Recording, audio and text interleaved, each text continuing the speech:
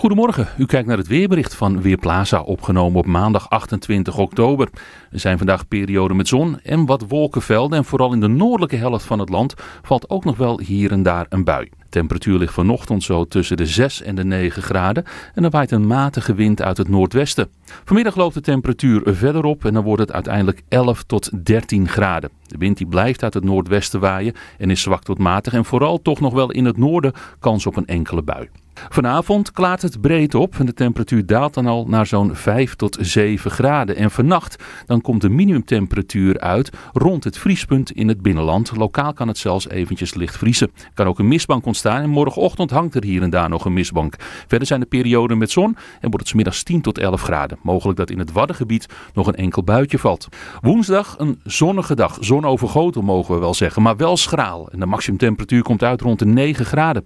Er waait aan een matige oosten wind. Vanaf donderdag gaat het weerbeeld geleidelijk aan weer veranderen. Mogelijk dat er later op donderdag al wat regen valt. Vrijdag wordt het sowieso wisselvalliger met middagtemperaturen rond de 13 graden en de nachten worden dan weer minder koud.